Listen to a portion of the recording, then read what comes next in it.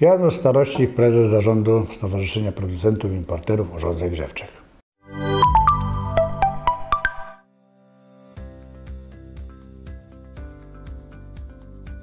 Jak najbardziej się w Polsce produkuje kotły gazowe. Mamy pięć firm, dwie tak naprawdę znaczące tutaj i eksportujące.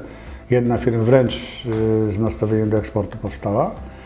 Natomiast to są normalne fabryki kotów. No to w zasadzie, w zasadzie wiadomo, że tak jak w każdych urządzeniach grzewczych przy y, czy nie tylko urządzeniach grzewczych, ale generalnie we wszystkim, y, wszystkich produktach no, fabryka nie robi powiedzmy blachy, prawda, bo nie ma swojej huty, czasami automatykę się dokupuje skądś tam, czasami jakiś element skądś tam, ale generalnie rzecz biorąc produkcja, to lutowanie, składanie tego wszystkiego, łączenie, integracja odbywa się w jednym miejscu i to jest produkcja, a nie składanie tylko.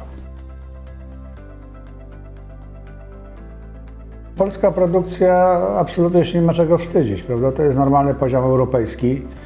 Wszystkie najnowsze rozwiązania y, praktycznie biorąc są zastosowane, prawda? I implementacja powiedzmy jakichś nowinek.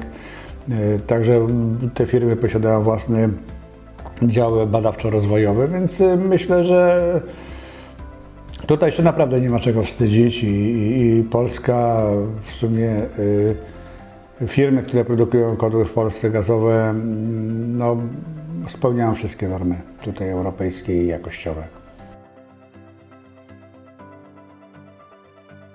Technologie stosowane w wypadku kotłów gazowych w Polsce muszą spełniać wszystkie normy jakości emisji.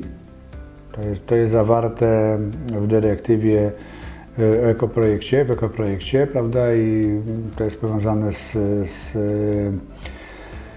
e, z etykietowaniem, które tam wskazuje tą efektywność energetyczną właśnie tego urządzenia. Natomiast e, musi to spełniać, poza tym kotły gazowe podlegają bardzo restrykcyjnym badaniom prawda, dopuszczeniowym, więc tutaj na tak zwaną lipę po prostu nie mamy absolutnie miejsca. Tu chodzi o bezpieczeństwo. Tutaj akurat kotły gazowe w porównaniu na przykład do kotłów na biomasę yy, no, podlegają naprawdę takim stricte pod kątem bezpieczeństwa różnego rodzaju szykanom, więc, więc to wszystko musi być spełnione, żeby ten kocioł w ogóle mógł być dopuszczony na rynek polski, ale także zagraniczny, ponieważ tutaj Mówimy tutaj o, o rynku ogólnoeuropejskim. To znaczy, ja myślę, że biorąc pod uwagę yy, jakość tych kotłów, kontakty, to, to, te kotły od zawsze się, można powiedzieć, yy, tutaj yy, pojawiały na różnych rynkach. Nie tylko europejskich, ale można powiedzieć też w dużej części yy, wschód Europy, Azja, południe Europy. Są rynki oczywiście w Europie, które są trudniejsze, ale to ze względu na, na po prostu takie dziwne praktyki oligopolu hurtowników. Miejmy tutaj y, na przykład, weźmy tutaj Niemcy. Zresztą są też lokalni producenci, więc, więc y, tutaj powiedzmy jakaś ekspansja wielka jest, nie jest jakaś łatwa, ale generalnie rzecz biorąc tam, gdzie tych produ produ produktów nie ma, prawda, no to te firmy, które w Polsce są, y, które produkują, y, przynajmniej część z nich, prawda, to, jest, to są eksporterzy już od wielu lat, prawda, więc tutaj y, no, mają swoją markę, zresztą na targach mają odwiedzających sporo właśnie za granicę też, sporo partnerów handlowych, więc ja myślę, że, że tutaj mm, to są równoważne, no, oczywiście kapitałowo powiedzmy, no, te firmy mogą być mniejsze, prawda, aniżeli aniżeli powiedzmy te firmy ogólnoświatowe, prawda? Ale to, to wcale nie znaczy, że są gorsze, prawda? Tutaj, więc myślę, że w tej chwili ten poziom urządzeń grzewczych, gazowych się wyrównał i praktycznie biorąc każda firma trzyma jakiś tam e, taki właściwy poziom, natomiast jest oczywiście kwestia różnic, jeżeli chodzi na przykład o kwestie serwisowe, prawda, dostępu do części zamiennych i tak dalej, prawda? Ale samo urządzenie to tutaj raczej nie ma żadnych jakichś takich problemów. Kotły gazowe też się, muszą się w tym momencie w jakiś sposób rozwijać, prawda, technologicznie. Pierwsza rzecz no, to jest kwestia yy, dopasowania do różnych paliw, prawda? Do paliw odnawialnych. Mówimy tutaj o zielonych gazach. Mówimy tutaj o możliwości wykorzystania mieszanin gazowych z udziałem wodoru. Mówimy tutaj o kotłach, które są dedykowane na 100% wodoru. No czy to wypali, czy nie wypali, nie wiadomo. Wiadomo, to kwestia jest, chodzi tutaj o dostępność tego wodoru. Wodor też nie jest wdzięcznym tematem, jeśli chodzi o magazynowanie, ale na przykład biometan. Tutaj w wypadku biometanu akurat zbyt wielkich e, przeróbek nie trzeba w tych kotłach robić. Praktycznie zaryzykowałbym, że, że, że, nawet żadnych przeróbek nie trzeba robić, dlatego że metan to jest metan, jest tylko kwestia składu tego metanu jest kwestia e, zanieczyszczeń, prawda, co jest e, od kilkunastu lat regulowane normami, więc to też nie jest jakiś widzimy się kogoś tam, prawda, w Wydziale Rozwoju. Ten kocioł musi spełniać to i te kotły rzeczywiście poszły w tym kierunku. To jest jeden kierunek, jeśli chodzi o paliwa. Druga rzecz to jest integracja z OZE. Yy, mianowicie kocioł gazowy jest urządzeniem, które jest niezależne pogodowo, prawda?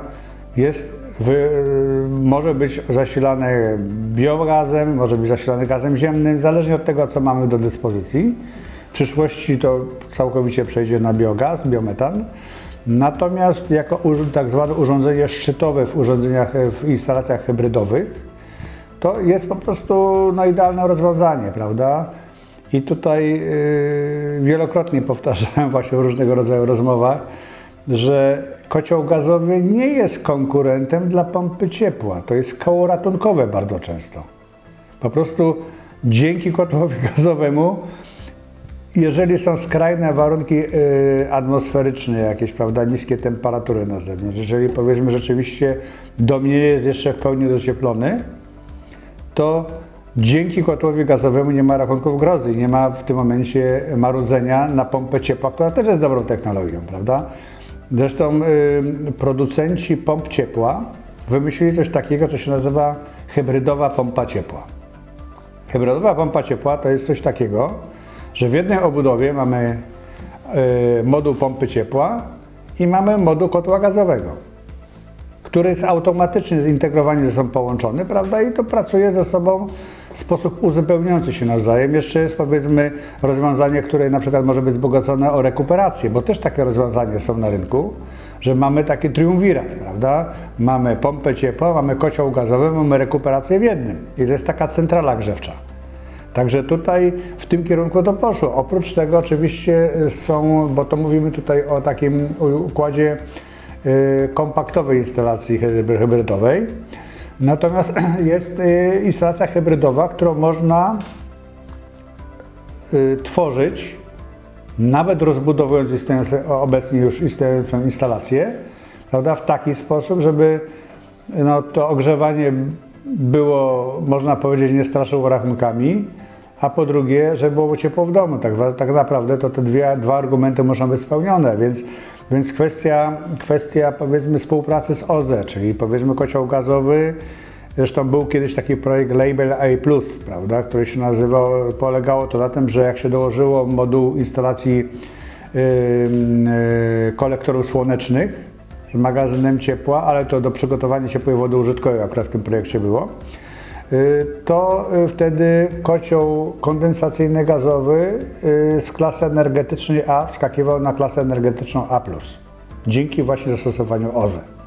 Ale w tej chwili coraz więcej powstaje instalacji, gdzie tak naprawdę instalacja kolektorów słonecznych z magazynem ciepła powoduje to, że zmniejszamy zużycie gazu, ponieważ Dopóki powiedzmy starcza nam tego ciepła w magazynie zebranego, a to ciepło zebrane ze słońca odbywa się w procesie ciągłym, bo jak wyjdzie trochę słońca, to od razu się to wszystko nagrzewa i wtedy nie potrzeba włączać kotła gazowego. Ale mówię, tego typu instalacje cieszą coraz większym, e, e, coraz większą popularnością, coraz większym zapotrzebowaniem, prawda? Czyli to jest ten etap już nie tylko e, wykorzystania tutaj y, kolektora słonecznego do przygotowania ciepłej wody użytkowej i w kotłowi się zostawia tylko, tylko kwestię y, ogrzewania, ale także doładowania niejako ogrzewania, czyli zmniejszenia tej emisji dwutlenku węgla, która jest taka w tej chwili taka modna w dyskusji, prawda, bo kocioł jest wróg numer jeden gazowy, prawda, bo emituje dwutlenek węgla, bo już innych argumentów nie można użyć, prawda, anty.